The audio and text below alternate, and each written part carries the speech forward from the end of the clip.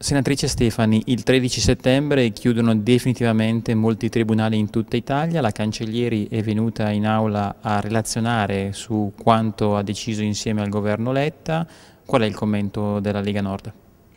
C'era la possibilità di adottare dei decreti correttivi e questo non è stato fatto. Sono mesi in cui sono state fatte anche delle promesse, sono state coltivate anche da questa stessa maggioranza e ora ci si è trovati proprio quasi addirittura di arrivo quando alcuni tribunali ancora non erano pronti a fare questo passaggio. Quindi i problemi, gli svantaggi sono numerosissimi. Questa mattina il Ministro è venuto e ha confermato la sua volontà di portare avanti questa riforma. Pertanto queste promesse erano proprio tutte al vento. E io mi domando come mai tutti questi mesi che cosa ha fatto la maggioranza, perché anche in Commissione Giustizia si è parlato moltissime volte di portare avanti il disegno di legge volto alla proroga delle entrate in vigore, proprio per permettere che venissero adottati questi correttivi. Ma questa proroga poi è stata votata solo a fine luglio, sempre su questa promessa che il governo avrebbe messo il correttivo.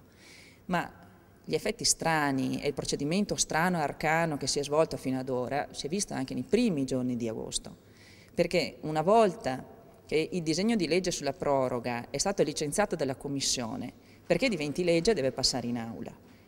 Allora mi domando come mai, quando sono stata a riunione di capogruppo e si è deciso di cosa calendarizzare in aula, come mai la maggioranza non ha insistito per far votare anche in aula la proroga e quindi ci siamo trovati adesso, purtroppo al 13 di settembre, con la chiusura dei tribunali, ma non solo, con un decreto farsa che è proprio veramente una ciliegina sulla torta, un decreto che in realtà per alcuni tribunali e solo per questi prevede una forma strana di proroga, proroga limitata soltanto alle cause civili del diritto del lavoro e soltanto per esaurire quelli che sono le cause pendenti.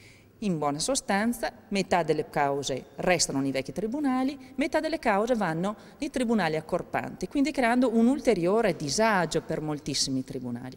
È un decreto che il governo non doveva fare, è un decreto che è proprio un errore.